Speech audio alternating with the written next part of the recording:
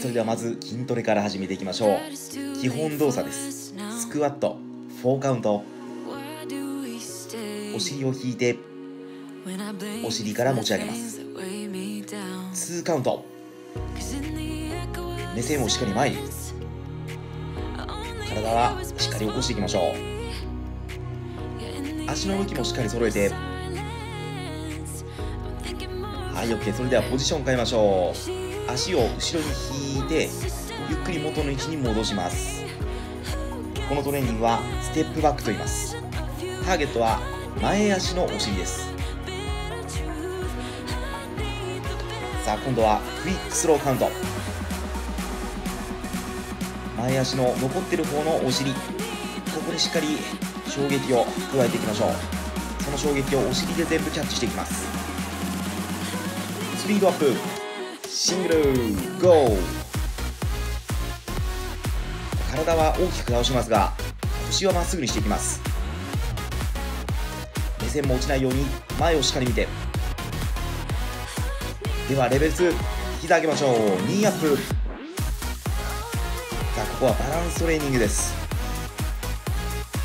膝は腰の高さまで持ち上げてバランスをしっかりとっていきましょう。できました？はい OK それでは一旦休憩しましょう。振り出しに戻ります。スクワット4カウント。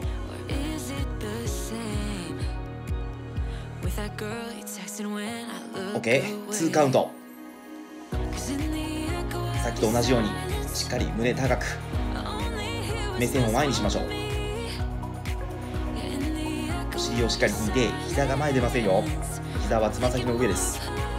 はい OK ポジションチェンジさっきと反対の足を後ろに引いて戻しましょう。やっぱり腰はまっすぐ。そして前足は膝があんまり曲がりません。膝は後ろの方にとどめておきましょう。クイックスロー。しっかりキャッチして。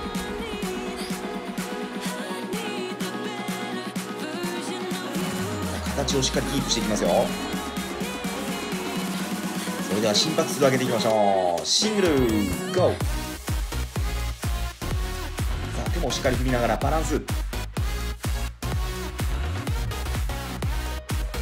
さあちょっと息上がってきました。ここからが勝負ですよ。続きまして膝上げましょう。ニーアップゴー。膝を上げた時は体がしっかりまっすぐです。軸足そこから頭まで一直線お尻を締めていきます。はい OK お疲れ様でした。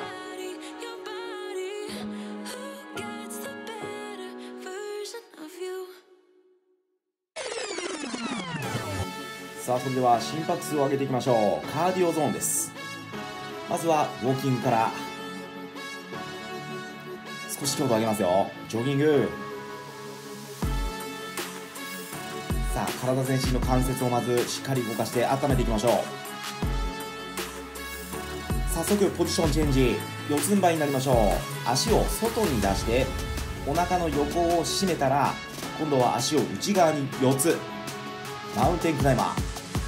今の動きをスピード上げましょう。サイド。横からそしてマウンテンクライマー6回。できました。コンビネーションです。最初の2回はお腹の横にしっかりと意識を集中させてクロスモーション。お腹全体いきましょう。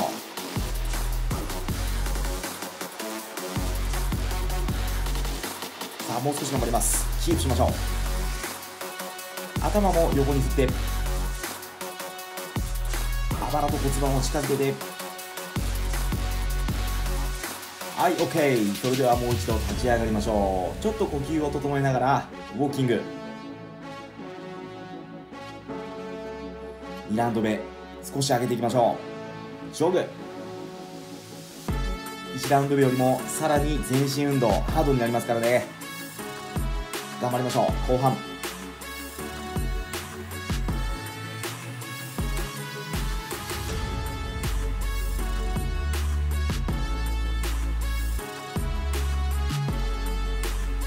あそれでは次の動きいきましょう。足をワイドポジションから。床に手をタッチ足を後ろに。この動きは以前もやりました。バーピーです。準備 OK でしょうか。それではバーピーを早く2回 GO さあコンビネーションです。その場でジョギング。ちょっと強度高めの膝上げいきましょう。元に戻します。バーピー2回